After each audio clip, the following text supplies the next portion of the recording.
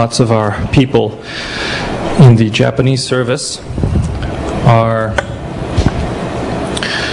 in Okayama today. They just headed out after the Japanese service, and they're at a Christian.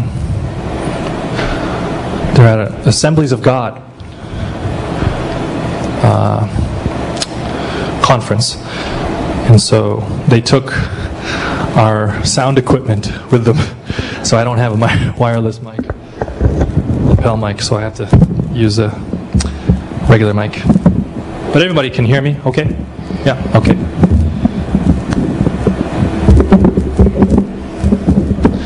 Hope that stays. You get the old fashioned, uh, just a regular handheld.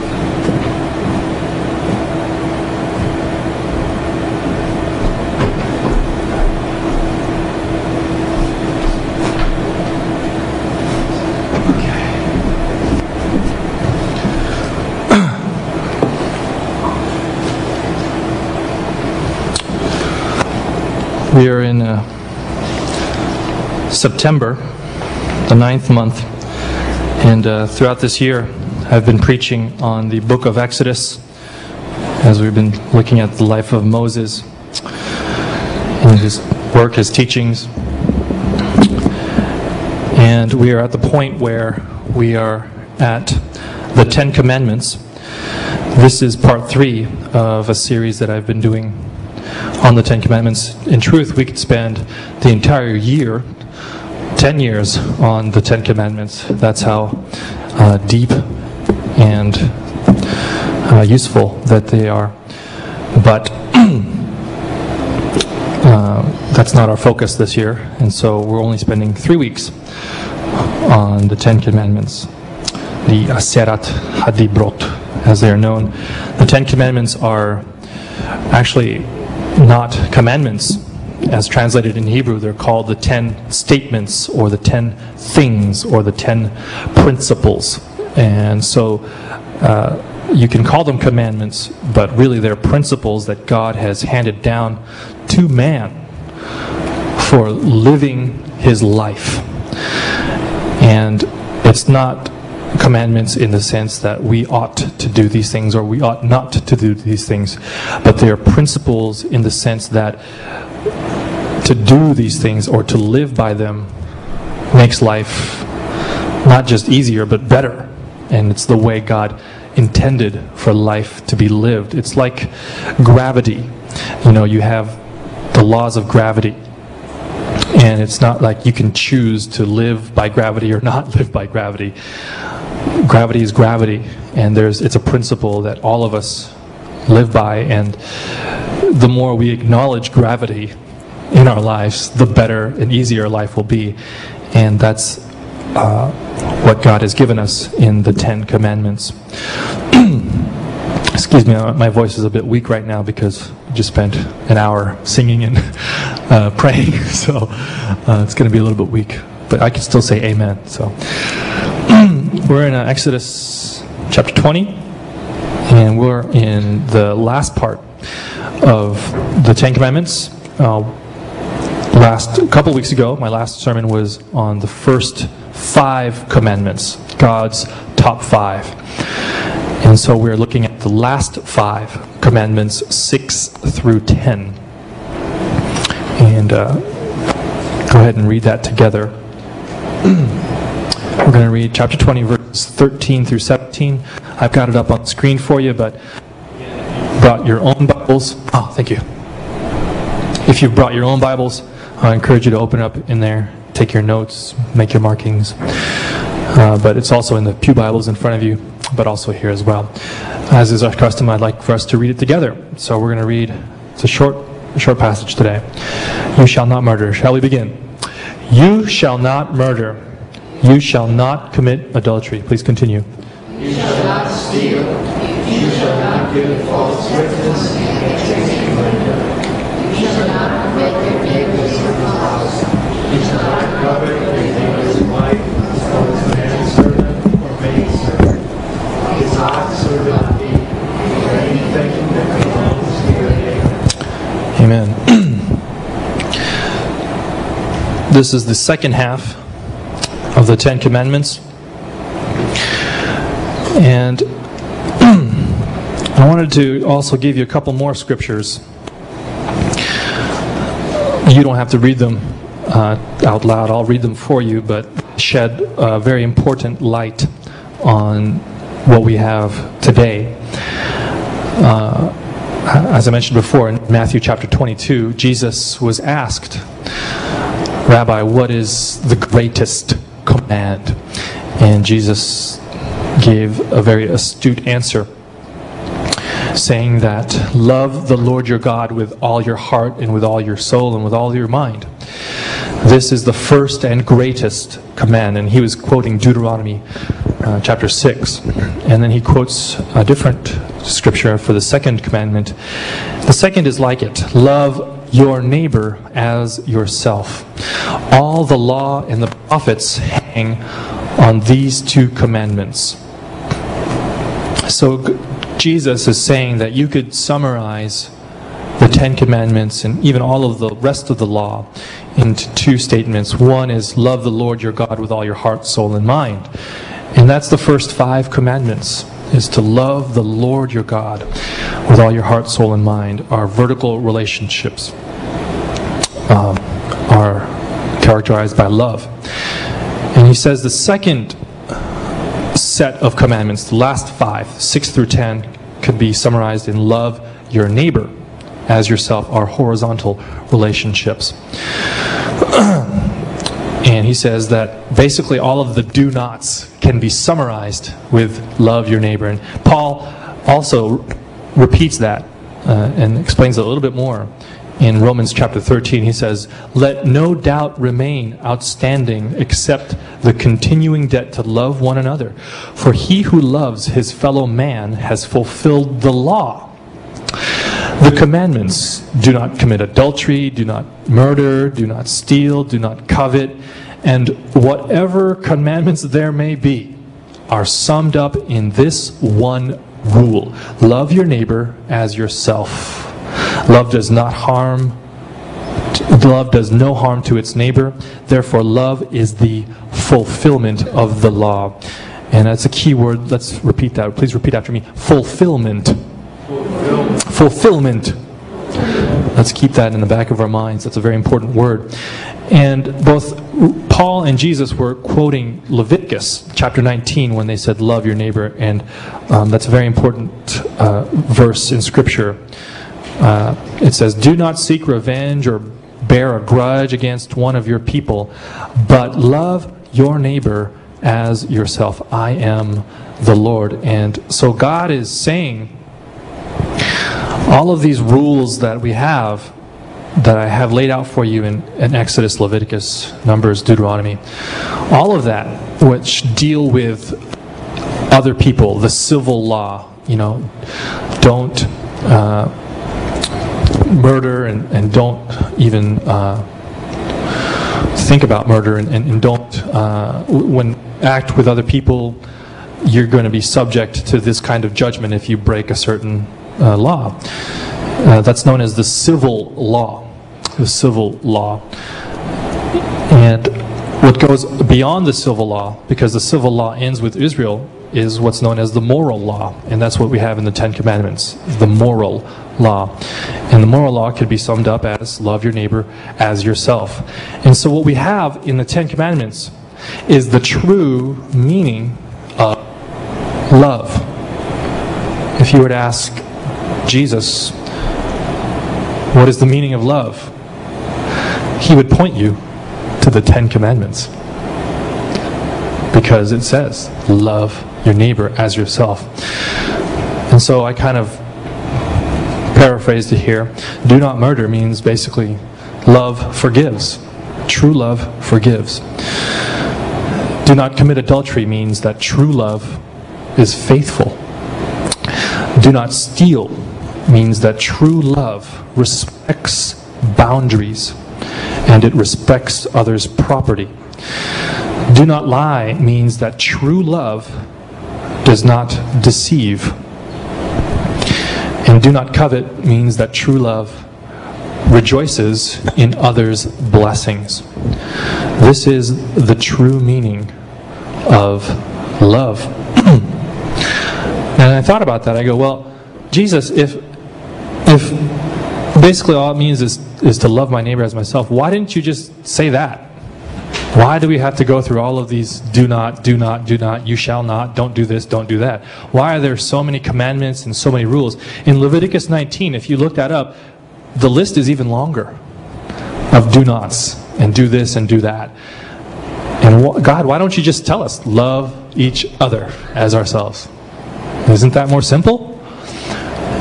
And I just thought, well, um, if any of you have ever worked with children, taught a class or, or um, babysat even, and you had two or three kids or even a group of kids, a class, and you were to leave the room for 10 minutes, and you just, before you left the room, you, you said, okay, I'm, I'm leaving for 10 minutes. Be good.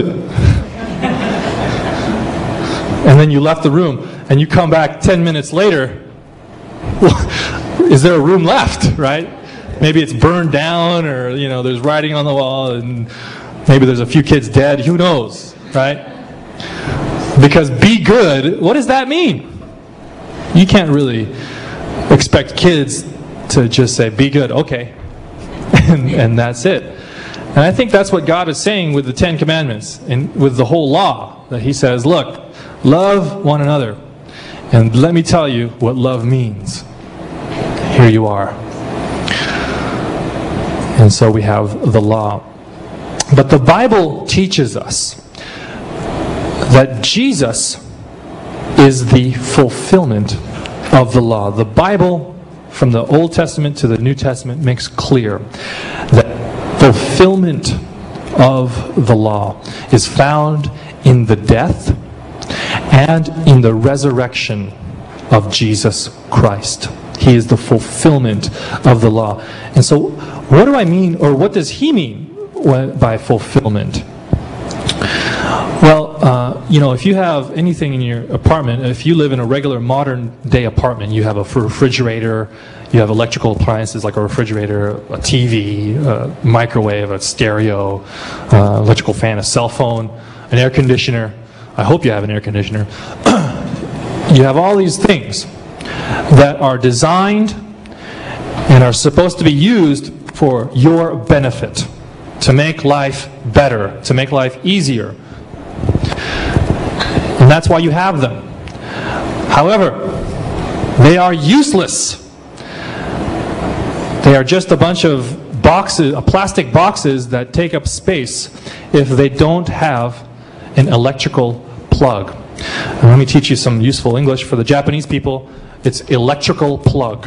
It's called an electrical plug. You can repeat after me. Electrical plug. Yeah, the, the plug. Don't, if you're not Japanese, you don't have to say that. It's like, it's just the Japanese people. But um, now for the foreigners here, uh, the way you say this is consento. Yeah, consento. Very useful word. Okay, consento. And I, I went like two years here in Japan without knowing that it, what that is, and I'm like, electrical pragu, pragu, pragu. People are like, I don't know what you're talking about. So it's consento. Consento. Okay. And without your electrical plug or without your consento, none of those plastic boxes will be of any use to you. They just take up space. And so what you can see is that the electrical plug is the fulfillment of all of these electrical appliances. Without the electrical plug, they don't work. And Jesus says that He did not come to throw away the law, to abolish the law. He came to fulfill the law. The Ten Commandments, the moral law given to us by God on Mount Sinai is made, is given to us for our benefit, for our usefulness, to make life better for us. But it doesn't work without Jesus Christ because he is the fulfillment of the law. How? How does that work? How does he, oh, go back there, messed up there. How does the, uh, he fulfill our law? Well, you know, if we are honest, if we are truly honest with ourselves, we would admit that none of us have been able to obey this law. If we are truly honest with God, we would admit that there is no one here that has perfectly kept all of these laws. If we are truly honest with ourselves and with each other, we would have to admit that we have broken every one of these commandments at one time or another. You say, what? How, how, does that work? I mean, Kris, I mean, I'm not a murderer. I've never killed somebody. How have I, how, how have I broken that law? Or I've, I'm not an adulterer. I've never committed adultery. How could I have broken that law?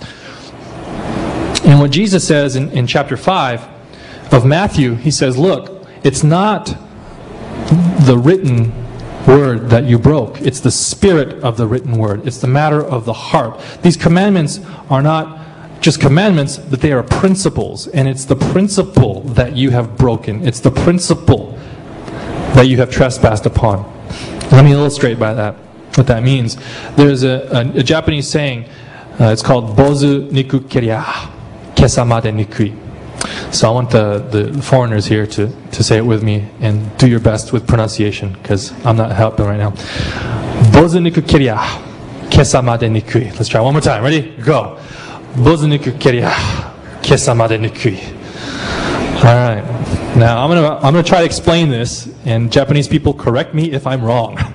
okay, but Bozu is a Japanese Buddhist monk, and Bozu basically means uh, shaved head. Okay, Bozu, and uh, Niku means uh, to hate, to dislike, and so if you hate a monk, Kesa means uh, his his cloth, his robe. And so if you hate, basically it's saying if you hate a monk, even his robes are what you despise or make you mad. And that expression is to say that, look, if you're mad at, you know, your husband or your wife or maybe, you know, your coworker because, you know, you don't like the way that they, they make noises on the table or you don't like the way that they, um, leave the toilet seat up or down, or you don't like you know a certain way they, they talk or, or something about that. It's not that you're you don't like that thing about them. It's you don't like them. It's the person that you have a problem with. It is not the cloth or the outside thing. It's a matter of the heart. And Jesus says this look, you've heard it said that you should not murder. And if you murder, you're to judgment. But let me tell you, is what Jesus says. If you hate a brother in your heart, you are subject to judgment. You've broken this law. And not only that, if, if you tell your brother, or you tell somebody, you idiot, you fool, you worthless piece of junk, who, who, what do you think you're doing? If you even say that, you've broken this law. You're guilty of committing murder. And not only that, if you tell somebody, you know, you don't deserve anything good to happen in your life. If you've thought that, if you even said it, if you can accuse somebody of being a fool and verbalized it, you've, bro- you've broken the sixth commandment because it's a matter of the heart. And he, goes on to say, and you know what? You've heard it said that you cannot, you should not, or you shall not commit adultery. But I tell you, and this is Jesus speaking, he says, even if you look at a woman with adultery in your heart, you are guilty. You have broken the seventh commandment. Why? Because it's not the action that God is concerned about, it is a matter of the heart. And that's the principle that He has. Lying, stealing. Are we honest with ourselves? Oh, but it's only a little white lie. It's just it didn't really hurt anybody, you know. And I was trying to help somebody out when I said that. It, you know, it was it was nothing. If we are truly honest with God, a sin is a sin, and God says in Romans three, Look, if you were truly honest with me and truly honest with yourself, you would admit that there is no one, especially you, who is righteous. Not even one. There is no one who deserves life. Oh my goodness. Kris, what, what are you trying to do? Make me feel guilty? Make me feel bad about myself? No, I'm not. I'm not trying to feel, make you feel bad about yourself, although you should. That's what preachers do. But uh, it's not to make you feel guilty, it's to let you know that you are guilty. Because purpose of the 10 commandments is to make our lives better, but it doesn't work without Jesus Christ. Because it is to lead us to the truth that no one stands innocent under God's perfect standard. You've got to admit that no matter how good you may think you are, you have broken His commandment. And therefore, you deserve punishment. That is the law of God. But this is where Christ comes in. That's where the death of Christ comes into effect. His death on the cross is the payment of our penalty for breaking these commandments. And not only that, but, oh, yeah. Therefore, there is now no condemnation for those who are in Christ Jesus. I love, that's like my favorite verse right there. Because it tells me that, oh my goodness, even though I've broken these laws once, twice, a hundred times, because of Christ, the punishment was taken. My punishment was taken for me by Christ Himself. And that's by His death. But let me tell you what happens after His death. He died for my punishment, for my sins. And then, three days later, He rose to life. And so, what does that do? That make Ten Commandments useful for me. That spirit, that power that rose Jesus Christ from the, the grave, it's the same spirit now that is living in me. And it's by that spirit that I can take these commandments of do not murder, do not hate, do not commit adultery, do not lust, and I can now have the power to follow them. It says there, and if the spirit of him who raised Jesus from the dead is living in you, he who raised Christ from the dead will also give life to your mortal bodies through his spirit who lives in you. Now, where I couldn't forgive because of the hatred in my heart, I can now forgive because I have the power from the resurrected Spirit of Christ living in me, and I am able to follow that sixth commandment. And before, where I couldn't, uh, you know, stop committing adultery every time I looked at a woman, now I have the strength to stay pure and faithful by the resurrection spirit, by the resurrection power of Christ. And, you know, where before I, I, couldn't stop myself from taking things that didn't belong to me, or I couldn't keep myself from deceiving others, now I have the power to control myself because of Christ's spirit living in me. Where before,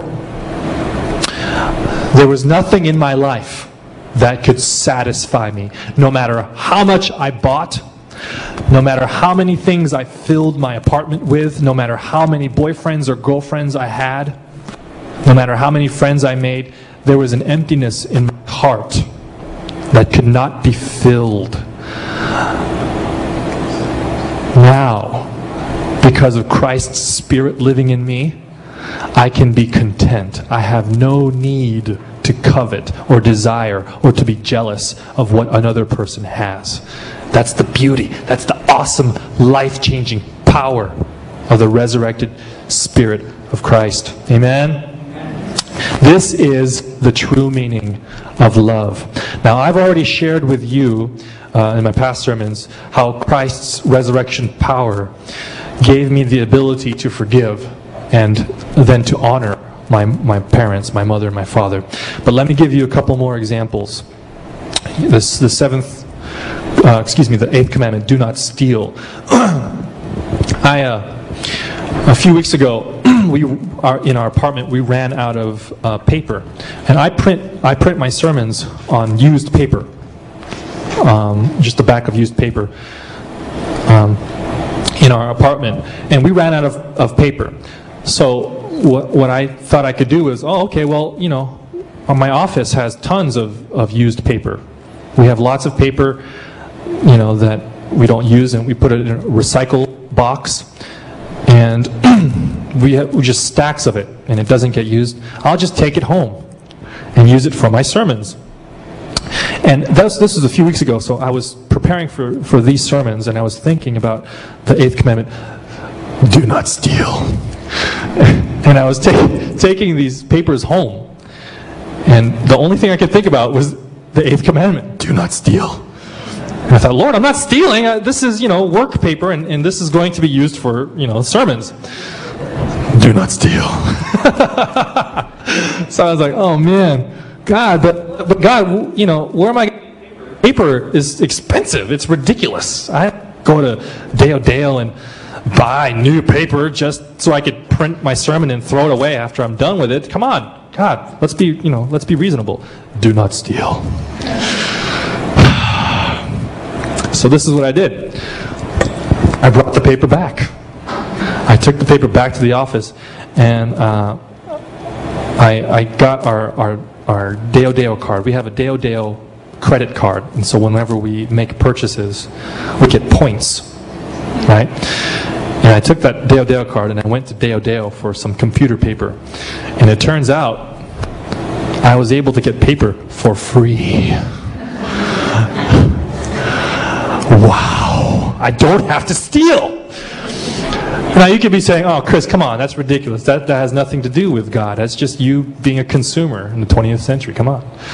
No, I believe in God. I believe that His will, His way, directs every single detail of my life. And His command, "Do not steal," is something that I can follow. I can because of Christ's power living in me. And when I decide to obey Him, even in the little things, I'm rewarded with free paper. Praise God. And then there's the commandment do not covet. Do not covet, the 10th commandment. And, and God is saying, look, it's, it's not about wanting all these things all around you, it's about being content with what I have given to you. It's about contentment. And, you know, I was struggling a few months ago thinking, oh God, we've got a son coming on the way, a new baby. And we live in such an old apartment. And it's so small, and the rent is not going to get lower. And I don't know if my job is going to get any better. I'm not going to get a better salary. And I don't know if I should get a master's degree and, and you know, try to improve my career and all this. And uh, should I negotiate a new contract with my boss? And what do I do about this? And my friend, I called up my friend, he had a birthday. And, he's in the states, and his wife, he takes his wife takes care of all of the finances, you know, for them. And you know what his wife did for him on his birthday? She bought him a car, a new car, on his birthday. And so when I was talking to him, and he said, "Yeah, I, you know, Rachel just bought me a new car," I just thought, Jim, I just broke the tenth commandment: do not covet. That's just terrible. Thank you for making me sin.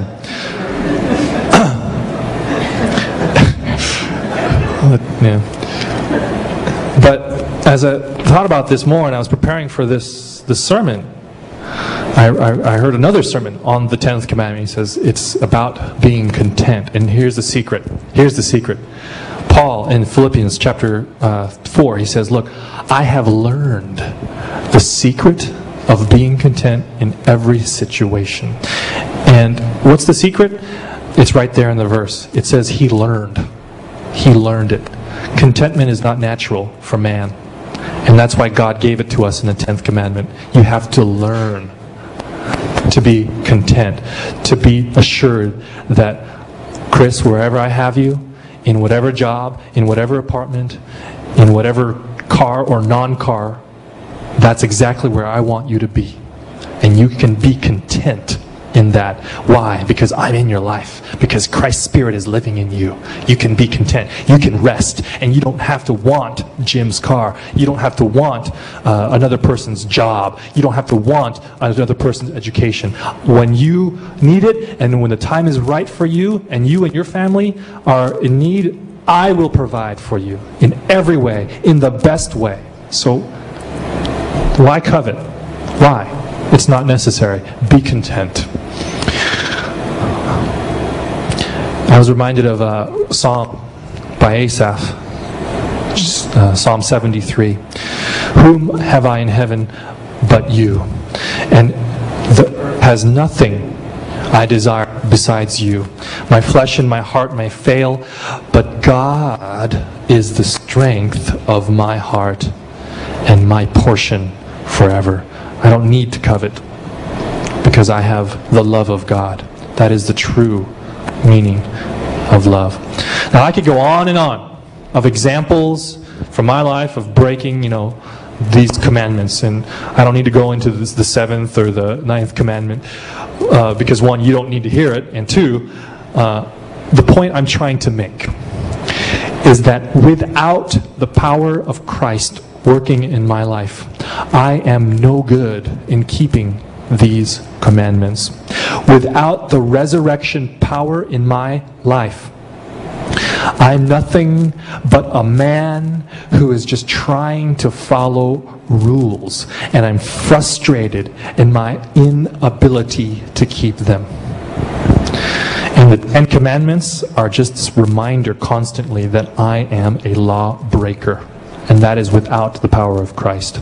But since the Spirit of Christ is in me, the same Spirit that raised Christ from the dead is giving me new life, is giving life to my mortal body. I am a new creation. And these Ten Commandments are not reminders of my failures, but these Ten Commandments are now a light unto my feet, and they are a lamp unto my path. They lead me and they guide me.